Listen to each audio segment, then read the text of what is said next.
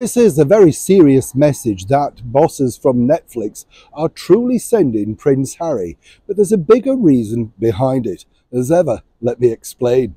Hi, good morning. How are you? Nice to see you today. I hope you're all keeping well. Thank you, by the way, for your lovely comments about our recent look back at royal festive traditions and what they have done, you know, to update it. I know, Monopoly. Yeah, I think a lot of you agree, though, that can start ructions, can't it? And I agree with quite a lot of you. You say it takes too long. I like simple things like snakes and ladders, don't you? Who remembers Operation as well? Do you remember that game? KerPlunk. Do you remember that one?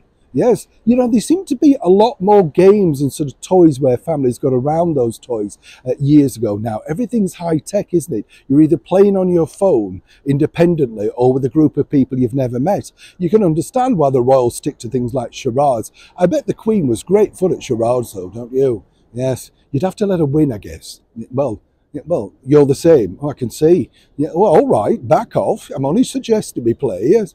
Might have a game of charades later, you never know. Bit of fun. Back as ever to your breaking roll story of the day. Now, what I find funny about this particular thing, and I've said to you this many times before, when you work in the world of show business, you know, there's what I call the golden period. You know, they like you, you know, so, oh, they think you're marvelous, you know, couldn't do enough for you, all that sort of stuff. And then they don't bother. You know, they sign you up, the world, and if you do not deliver, the bottom line is then things get very tough very quickly. And having worked in television and the broadcast arena a long time, it's all about ratings. If you can keep pulling people in, then you're fine. When you look at somebody like Matt Lauer, the former uh, Today host, you know, a lot of people knew what was going on over at NBC. I worked there for many years. It was, you know, one of those talked about things. I didn't really know, obviously, who he was, if I'm honest. You know, when I went to New York, he wasn't a big cheese to me, but of course he was bringing in ratings and advertising, so people looked the other way. The same could be said, of course, for Prince Harry. With his now ubiquitous docu-series Under the Covers, you know, what use is he now to Netflix? His Heart of Invictus has proven to be a bit of a disaster. And more importantly, they decided to openly trash him in the final series of The Crown including the Nazi uniform and portraying him as something as a, a drinker, as a spoilt brat against his elder brother, of course, Prince William. But why did they do it? Well, according to a very well-placed source, it's simply this. Netflix is sending out a signal. And the bottom line really is, you know, either you give us what we really want, which is more royal gossip, or your deal's in doubt. It's as simple as that. A lot of people keep, you know, reiterating this story. Oh, they picked up 88 million, they picked up 100 million from Netflix.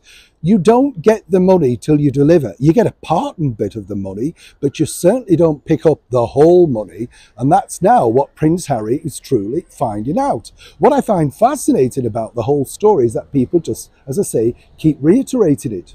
The reason why they fired these missiles through the TV was, as I told you the other day, they're now looking at Prince Harry's book, Spare. They feel that that could simply be turned into the next big royal series. They don't need his permission, the book's in public domain, and the bottom line is they will feel they've paid him enough money already.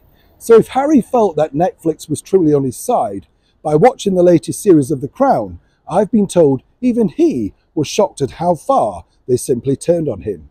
But as I said at the start of this video, show business is a cruel mistress.